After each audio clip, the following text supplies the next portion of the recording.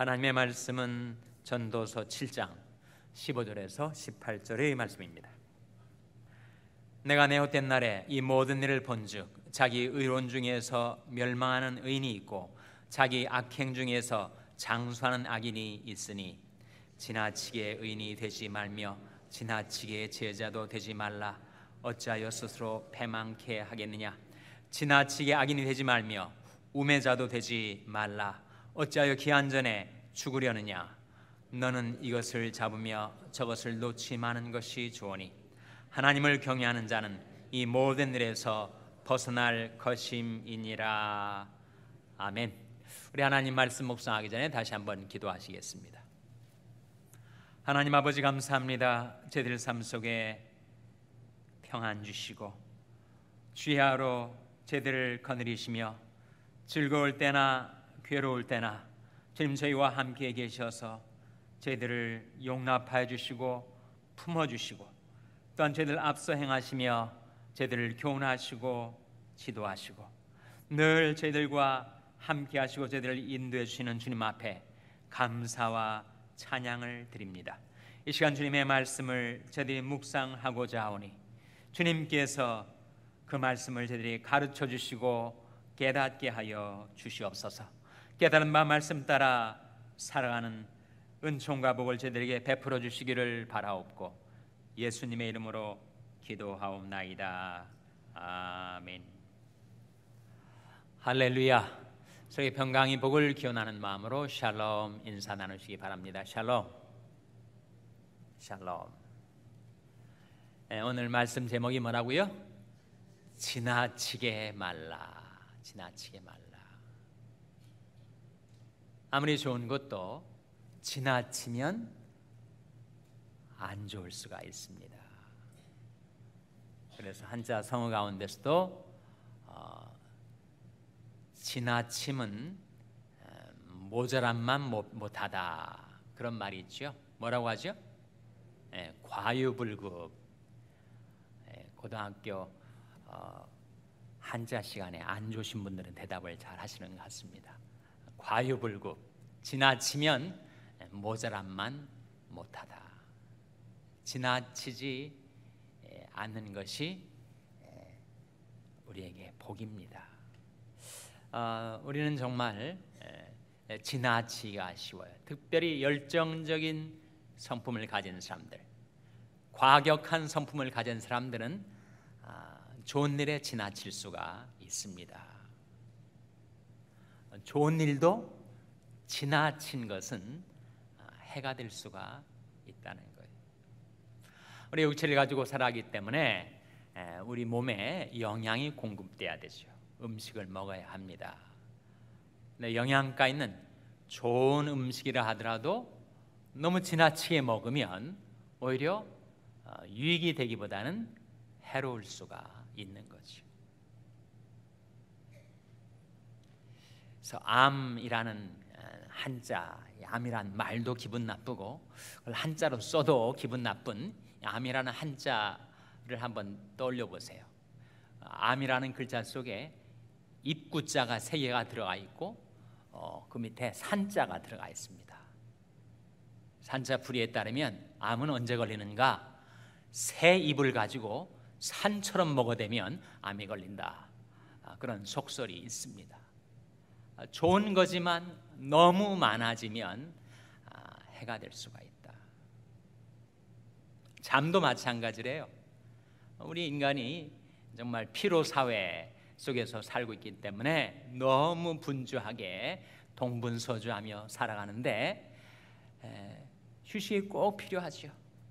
정말 하룻밤 깊이 숙면을 취하면 보약보다 낫습니다. 그러므로 여호와께서는 그 사랑하신 자에게 무엇을 주시는도다라고 했습니까? 잠을 주신다. 잠이 정말 보약이에요. 건강에 얼마나 좋은지. 그런데 그 잠도 과도하게 자면 사람이 게을러지가 싶고 게으른 종역이 그를 죽이나니 하는 말씀대로 어, 잠도 너무 어, 지나치게 자면 오히려 건강에 해가 된대요. 최근에 나온 의학 한 보고서에 따르면 인간이 잠을 몇 시간 자는 것이 가장 좋을까? 전통적으로는 8시간을 얘기를 했는데 8시간이 좀 많다. 그런 관측이 나오고 있습니다. 그럼 몇 시간이 좋은가? 한 7시간 정도가 좋다고 그래요. 그런데 잠을 9시간, 10시간 이렇게 자면 사람이 머리가 둔해진답니다. 잠을 자서 건강하게 장수하기를 원하지만 그것도 지나치면 오히려 장수의 해가 된대요. 제가 군에 있을 때 제 후배가 아주 잠을 좋아하는 후배가 있었습니다. 친구는 휴일 되면은 아, 밤새 잠을 자고 오전 내내 잠을 자고 오후 한 2시쯤에 일어나 가지고 저한테 선배님 제가 어제 이렇게 잠을 충분히 잤습니다. 아주 보람 보람스럽게 얘기를 하던 친구가 있었어요. 잠도 너무 과도하게 많이 자면 오히려 두뇌도 안 좋고 어, 정신 건강에도 안 좋고 어, 신체 건강에도 안 좋을 수가 있다. 사실은 오늘날 현대인들은 너무 잠을 적게 잡니다. 이 조명 때문에 밤낮을 모르고 밤새 내내 뭐 그렇게 볼 일이 많고 할 일이 많은지 잠을 안 자는 것이 건강에 해가 되는 것이 보통이지만 아, 그러나 때로는 어, 너무 잠을 지나치게 자는 것 잠은 좋은 것이라되 지나치면 해로울 수가 있다. 운동도 마찬가지. 정말 인간이 건강해지려면 운동이 꼭 필요합니다. 너무 운동을 안 하면 너무 다리를 안 쓰면 나중에는 힘을 잃어가지고 어, 움직이는데 문제가 생기죠. 여러분이 건강할 때 부지런히 걸어 다니세요. 몸을 움직이세요. 사실 아, 세계 장수천을 탐방하면서 어, 인간이 건강 장수의 삶을 사는 길이 무엇인가를 한국의 고령사회 연구소 박살, 박상철 소장이라는 사람이 통계적으로 어, 탑이 뭐냐 하면 건강 장수길 첫 번째가 뭐예요? 첫 번째가 바로 움직이라, 움직이라. 건강이 운동에 의해서 많이 영향을 받으니까 운동이 꼭 필요합니다. 그런데 그 좋은 운동도 너무 지나치게 하면 해가 될 수 있어요. 한 목사님 이야기를 들었는데 이 목사님 테니스를 너무 좋아하셨어요. 근데 테니스를 너무 좋아하셔가지고 그 뜨거운 한낮에 테니스를 치면서 볼을 쫓아서 여기저기 정신없이 달리다 그냥 쓰러지셨어요. 쓰러지셔가지고 돌아가셨어요. 아니 건강하라고 하던 운동이 생명을 앗아갔으니 얼마나 안타까운 일입니까? 저도 오랫동안 테니스를 쳤습니다. 동부에 있을 때 이야기인데 테니스를 치는 목요일 날 동부는 캘리포니아처럼 날씨가 안 좋아서 목요일 날 비가 오면 어, 창문 밖에 내리는 비를 보고 가슴 아프게 바라보던 그런 사람이었습니다. 테니스를 그렇게 좋아했는데 한 번은 테니스를 치고 한 두세 시간을 치고 아주 몸이 피곤해질 대로 피곤해진 상태로 어, 돌아보니까 아 그 목사님 전도사님들이 족구를 하고 있는 거예요. 또 이 족구를 보니까 또 해야 되나 말아야 되는가. 저도 모르게 너무 템팅, 너무 유혹을 받아가지고 거기에 또 휩쓸려 들어가서 또 한두 시간 족구를 하지 않았겠습니까? 그랬더니 그 다음 날 일어나는데 갑자기 다리에 전기가 오는 거예요. 찌르륵 전기가 오면서 다리가 아파가지고 아주 걷는 것이 보행이 몇 달 동안 불편했어요. 그 일이 있고 난 다음에 제가 아, 결론을 하나 도달한 것이 있습니다. 결론이 뭘까요? 예, 한 종목만 하자 하는 결론이었어요. 아니 무슨 또 테니스만 치면 됐지 또 족구까지 쫓아다니면서 좋아야 될 운동이 건강에 좋아야 될 운동이 오히려 해가 될 정도로 그러고 다녔는가? 그래서 오늘 본 말씀에 보시면 아, 지나치게 말라. 의에 있어서도 지나치게 말라. 의는 좋은 것 아니에요? 지혜에 있어서도 지나치게 말라. 지혜는 좋은 것 아닙니까? 그러나 그것에서도 지나치게 말라 하는 말씀이 나오죠. 그 뜻이 무엇일까 함께 생각해 보시기를 바랍니다. 자, 15절 말씀 한번 같이 읽겠습니다. 전도서 7장 15절 말씀 시작. 내가 내 헛된 날에 이 모든 일을 본즉 자기 의로운 중에서 멸망하는 의인이 있고 자기 악행 중에서 장수하는 악인이 있으니 이 세상이 완전한 세상이 아니고 그리고 인생이 살아도 너무 유한한 인생 무상 어, 헛된 날을 살아가고 있는데 자기가 관찰을 해봤더니 자기 의론 중에서 멸망하는 의인이 있는가 하면 자기 악행 중에서 장수하는 악인이 있다 하는 거예요. 그래서 이 전도자가 말하기를 지나치게 의인이 되지 말며 지나치게 지혜자도 되지 말라. 어찌하여 스스로 패망케 하겠느냐? 너무 지나치게 의인이 되고 너무 지나치게 지혜자가 되면 스스로를 패망케 하는 것이다. 그 말씀 이해하기가 어렵지 않습니까? 그 다음 구절에 17절 지나치게 악인이 되지 말며 우매자도 되지 말라 어찌하여 기한 전에 죽으려느냐 그럴 수가 있겠죠. 이 17절 말씀은 우리가 이해가 됩니다. 지나치게 악인이 돼 가지고 너무 사람들에게 몹쓸 짓을 하고 악행을 한 사람은 제명 못 살아요. 너무 우매해 가지고 그 어리석음 때문에 그 인생의 중도에 끊쳐지는 아, 그런 음, 경우가 있습니다. 27절 말씀은 이해가 되는데 이 16절 말씀이 이해가 되질 않아요. 지나치게 은이 되지 말며 지나치게 지혜자도, 지혜자도 되지 말라. 어찌하여 스스로 패망케 하겠느냐. 이 말씀을 이해하는 키는 이때 의인은 자기가 스스로 의롭다고 생각하는 자기 의에 빠져 사는 사람을 가리킵니다.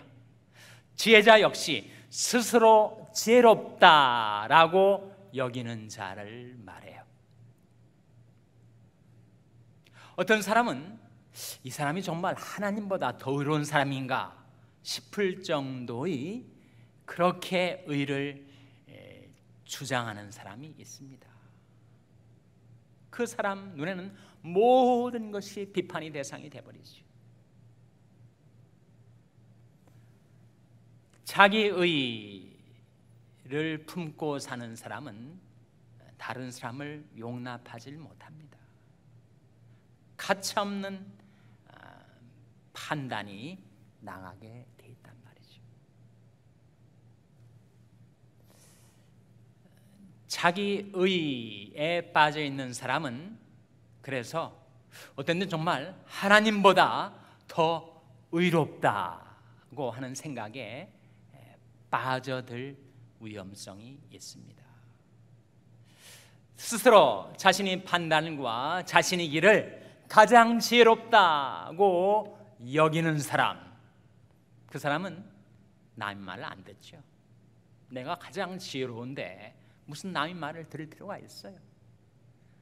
다른 사람과 대화를 나누는 것도 시간이 아깝고 다른 사람의 상담을 받는 일은 자기 사전에는 상담이란 단어가 없는 거죠. 왜? 자기가 가장 의롭고 가장 지혜로우니 자기 의는 무서운 것입니다.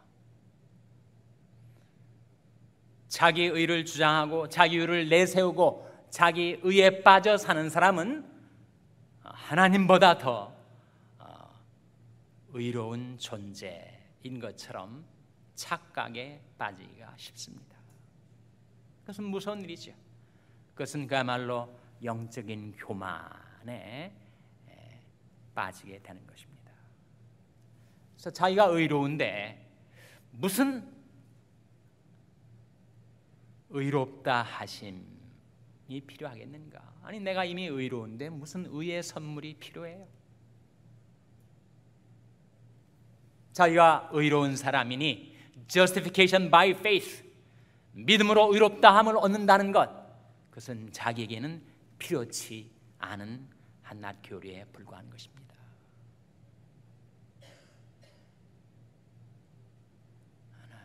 자기 가슴을 치며 감히 우러러 하나님을 바라보지도 못한 채 이 죄인을 불쌍히 여기소서라고 하는 그 세리가 의롭다는 바리새인보다 더 의롭다함을 얻고 성전에서 내려갔다.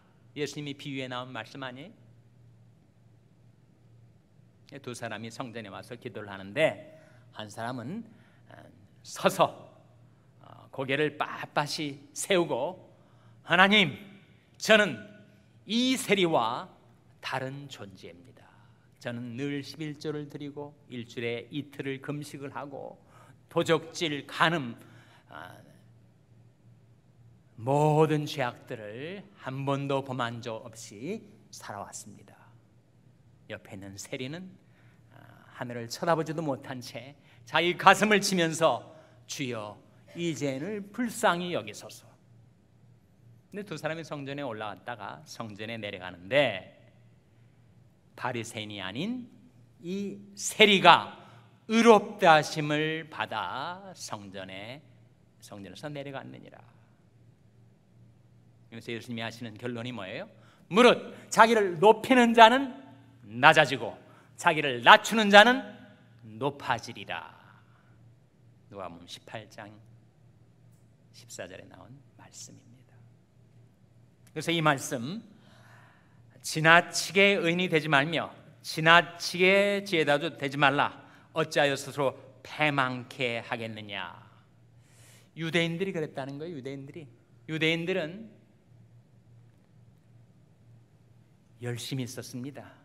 열심히 있는 민족. 아주 패셔니트한 아, 그런 아, 성질을 지닌 민족이었어요 그러나 그 열심이 지식을 좇은 것이 아니었습니다. 그래서 하나님의 의를 모르고 자기 의를 세우려고 힘써 하나님께 복종치 않은 결과를 낳게 되었어요. 로마서 10장 2절 3절 말씀입니다. 한번 찾아보시기 바랍니다. 로마서 10장 2절 3절 말씀. 신약성경 252면입니다. 신약성경 252면 로마서 10장 2절 3절 찾으셨습니까? 네, 같이 읽겠습니다. 로마서 10장 2절 3절 말씀 시작. 내가 증거하노니 저희가 하나님께 열심히 있으나 지식을 좇은 것이 아니라 하나님의 의를 모르고 자기 의를 세우려고 힘써 하나님의 의를 복종치 아니하였느니라. 내가 증거하니 저희가 저희는 누굴 가리킬까요? 유대인이란 말입니다. 유대인이 하나님께 열심은 있었어요. 그러나 지식을 좇은 것이 아니었습니다. 이 지식은 무슨 지식일까요, 여러분?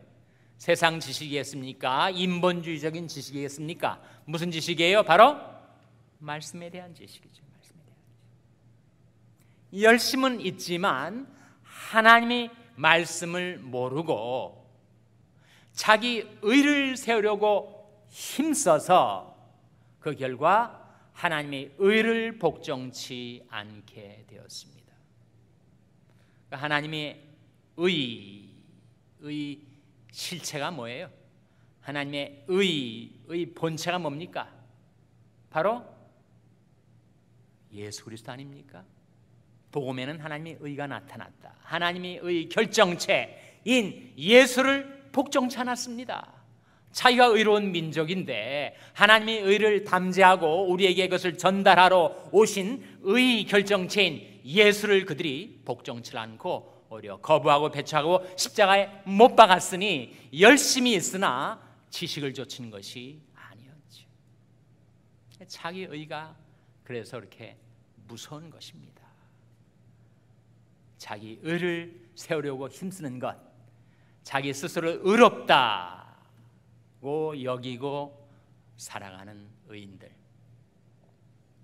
자기를 스스로 지혜 있다라고 생각하는 지혜자, 그들은 오히려 과도하게 자기 의와 자기 지혜를 지나치게 신봉한 나머지 하나님의 의를 거부하고 하나님의 지혜를 따라 살지 않게 되니 그 결과가 패망이지 않겠는가? 그러나 이 양자를 벗어나는 길이 있다는 거예요. 오늘 전도서 7장 마지막 구절을 보시기 바랍니다. 전도서 7장 10 아, 전도 7장 18절 말씀이죠. 18절 말씀 같이 읽겠습니다. 18절 말씀 시작. 너는 이것을 잡으며 저것을 놓지 마는 것이 좋으니 하나님을 경외하는 자는 이 모든 일에서 벗어날 것임이니라. 지나치게 의인이 되는 것도 아니고 지나치게 악인이 되는 것도 아닌 길.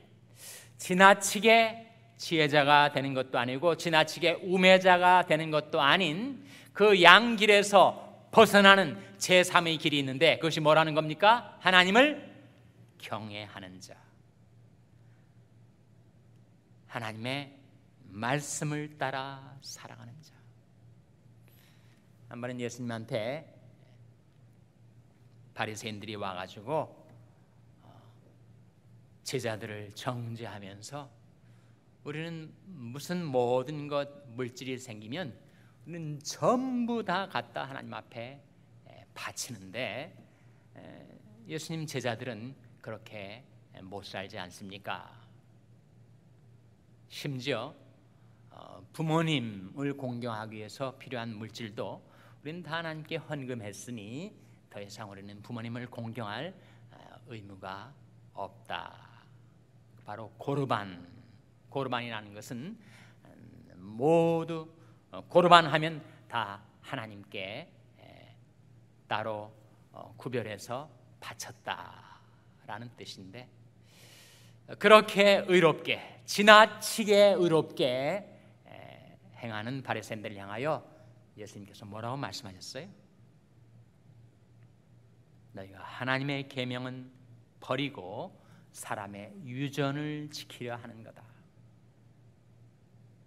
하나님의 계명보다 사람의 유전이 더 의로운 것이냐, 더 하나님께 헌신하는 것이냐, 더 하나님께 열심히 있는 것이냐, 그렇게 행하지만 하나님의 말씀을 그것은 따르지 않는 것이다. 하나님의 말씀은 하나님의 것은 하나님에게, 가이사 것은 가이사에게, 부모님의 것은 부모님에게. 그래서 내 부모를 공경하라라는 명백한 하나님의 말씀의 지식을 따르지 않고 사람의 유전을 따라서 더 의로운 양, 더 헌신된 신앙인 양, 아, 의인 양, 아, 의인 양 행세하는 바리새인들 향하여 주님은 아, 너희가 사람의 유전을 지키려고 하나님의 계명을 저버리는도다. 입술로는 하나님을 공경하되 마음은 하나님에게서 멀도다. 그렇게 말씀하시면서 우리가 어떻게 하면 그 양자에서 벗어날 수가 있는가? 하나님을 경외하고 하나님의 말씀을 따라 행하는 길. 그것이 어떤 사람이 볼 때는 더 의롭지도 않고 더 열심 내는 것도 아니고 더 헌신된 것도 아닌 것처럼 보일지 몰라도 하나님을 경외하고 말씀을 따라 행하는 자는 그 양길에서 벗어나서 말씀의 길로 행하며 살 수 있다라고 우리에게 깨우쳐 주고 있습니다. 기도하시겠습니다.